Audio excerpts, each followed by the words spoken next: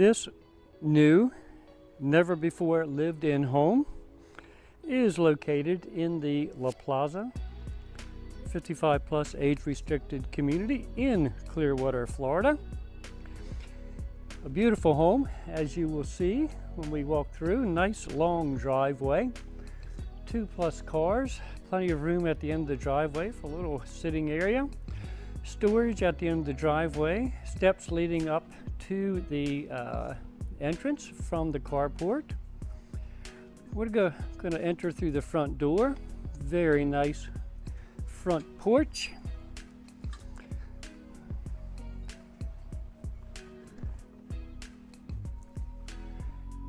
Give you an overview of this home. Living room. This is a very open plan.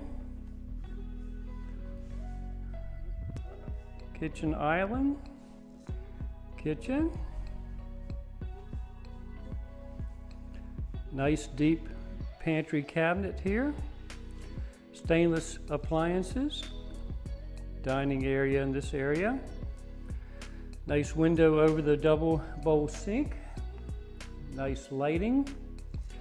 Nicely finished drywall walls.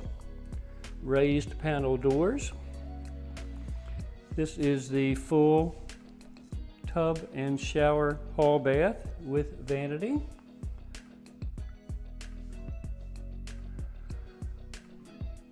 Guest bedroom or bedroom number two. Crown molding throughout this home. This home was built to Wind Zone 3 construction standards, 6 inch exterior walls. This is the utility area for the washer and dryer.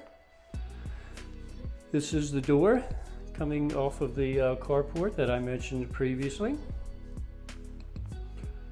Master bedroom on the rear of the home. Nice base molding all the way around the easy to maintain vinyl flooring. Master bath, large shower, double bowl vanity, plenty of storage in the vanity, nice mirrors, nice lighting. Large walk-in closet, shelving in place.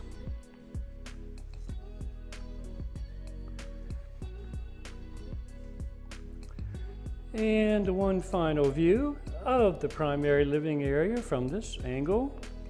Living room, door that we came in, and kitchen.